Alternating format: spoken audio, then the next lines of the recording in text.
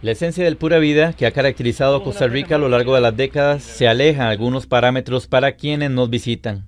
¿Te sentís segura aquí en Costa Rica como turista?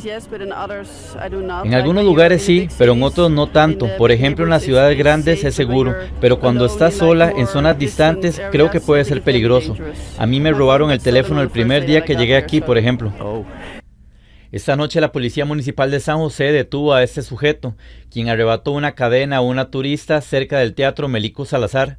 La percepción de seguridad cayó de un 95.3% en 2019 a un 88.5% en el primer trimestre de este año, una reducción del 6.8% según el índice de satisfacción global del ICT.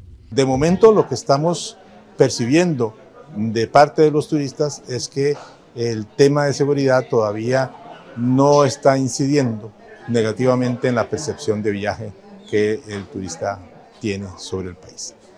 La desmejora en la calificación coincide con varias publicaciones internacionales que alertan sobre la creciente ola de violencia que sufre el país, como esta publicación en donde señalan que la sombra del narcotráfico se cierne sobre la tranquilidad y el turismo en Costa Rica.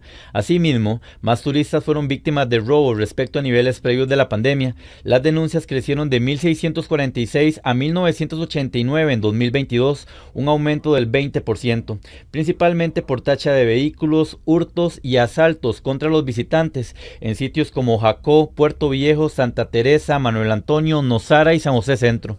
Eh, tablets, eh, relojes inteligentes, cualquier dispositivo eh, electrónico que se pueda intercambiar en alguna, por dinero o incluso por droga, ¿verdad?